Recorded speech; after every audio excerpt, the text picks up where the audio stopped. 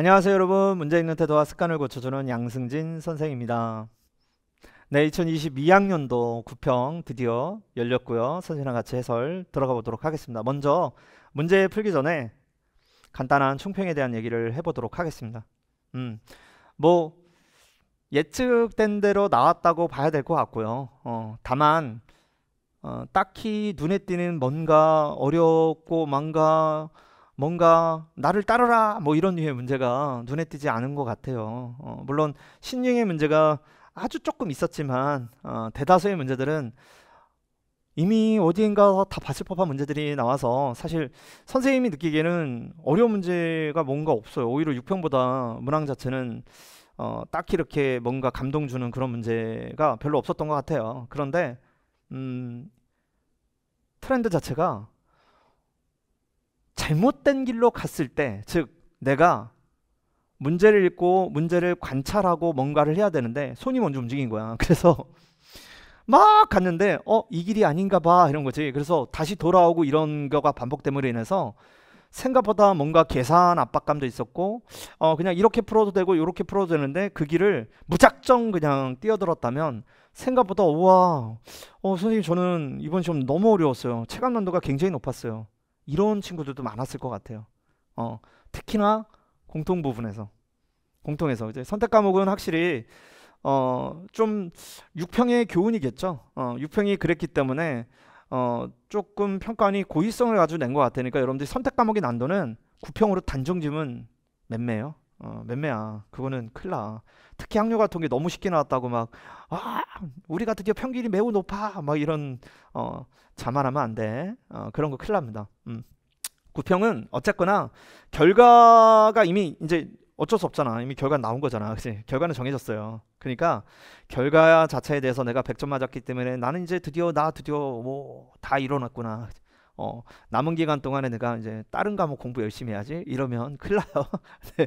그러면 수능 때 큰일 날 거야. 네. 눈에 그냥 피눈물이 날 거예요. 그죠? 그러지 마시고 과목은 골고루 균형 있게 공부를 하는 게 맞고요. 절대 자만하시면 안 될 것 같고. 그리고 점수가 너무 안 나온 거야. 그렇다고 좌절할 필요 전혀 없어요. 절대 어, 그러지 않아도 됩니다. 그래서 자만 또는 좌절을 위한 시험이 아니니까 어, 지금 이렇게 여러분들이 어, 당일날 시험 보고 당일날 해설 강의 들어보면서 어, 아주 음, 그것 자체도 그냥 옆에 있었으면 뽀뽀했을 거야. 그지? 어, 잘하고 있는 거예요. 음. 그러니까 내가 어, 하루만 지나고 그래도 또 까먹잖아. 시험 볼 때 그 감정을 문항마다 적어 보시고 선생님이 문항 이제 풀어 나갈 거니까 그 문항 풀면서 어, 어, 선생님은 저기서 저런 생각으로 저런 문제의 포인트를 보고 이렇게 했는데 내가 왜 거기서 고민도 안 하고 그냥 했지? 맴매 이런 거지. 그죠? 그런 반성들을 좀 해주면 될 것 같아. 전체적으로는 사실 균등하게 문제가 나왔고요. 일단 두드러진 특징은 공통에서 빈칸 추론이 안 나왔어요. 야, 의지일 수 있죠.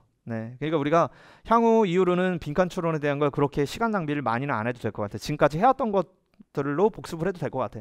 수능에 나올 수도 있는데 안 나올 가능성이 좀 더 높아진 거니까 그죠? 어. 그게 있을 거야. 근데 뭐 사실 뭐가 나오든 빈칸 추론에서 우리가 크게 그지 두려워하거나 그지 선생님 빈칸 추론 때문에 힘들어요 이러진 않을 거니까 그지 어, 그러진 않을 거니까 그게 이제 눈에 띄었던 거고 그리고 이제 합답형이 어우 어디에서 이제 미적분에서 나왔어 뭔 얘기야 케이아스 그지? 어. 혼돈의 그지 역사가 이제 뭐가 나올지 몰라. 6평 때는 상가감수에서 어 이제는 수투에서 어 미적에서 나왔으니까 그럼 수능은 뭐가 나올까?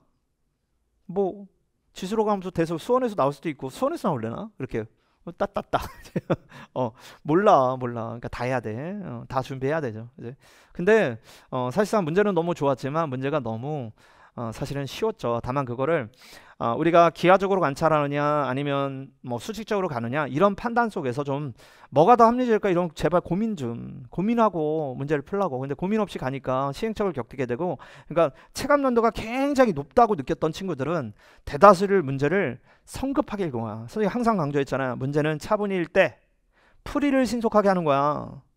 근데 우리는 문제를 신속하게 읽죠. 어. 그래서 그래서 문제가 되는 거야. 물론 1번은 신속하게 읽어도 돼.